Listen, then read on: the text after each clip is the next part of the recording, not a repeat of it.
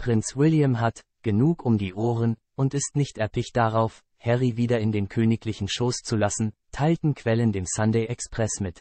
Quellen zufolge hat Prinz William gestern Abend jede Aussicht auf eine königliche Versöhnung mit seinem Bruder Prinz Harry verworfen. Der Herzog von Sussex soll nach seiner Krebsdiagnose mehrere, herzliche Gespräche mit seinem Vater geführt haben und Freunden gesagt haben, dass er eine königliche Rolle übernehmen würde, solange es seinem Vater nicht gut geht. Ein solcher königlicher Neustart würde unweigerlich bedeuten, dass Harry und William ihre Differenzen beiseite legen würden. Doch die Idee wurde von Quellen aus dem Umfeld des Prinzen von Wales entschieden zurückgewiesen. Eine königliche Quelle sagte, der Prinz von Wales wird es auf keinen Fall tragen.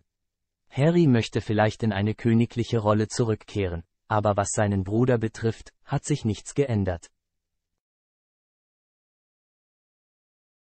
Prinz William hat genug zu tun der Moment.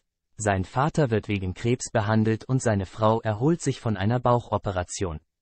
Dafür fehlt ihm einfach die Bandbreite. Berichte darüber, dass Prinz Harry eine teilweise Rückkehr zu den königlichen Pflichten anstrebte, tauchten auf, als Harry seiner Familie in einem Interview im amerikanischen Fernsehen offenbar ganz öffentlich einen Olivenzweig anbot.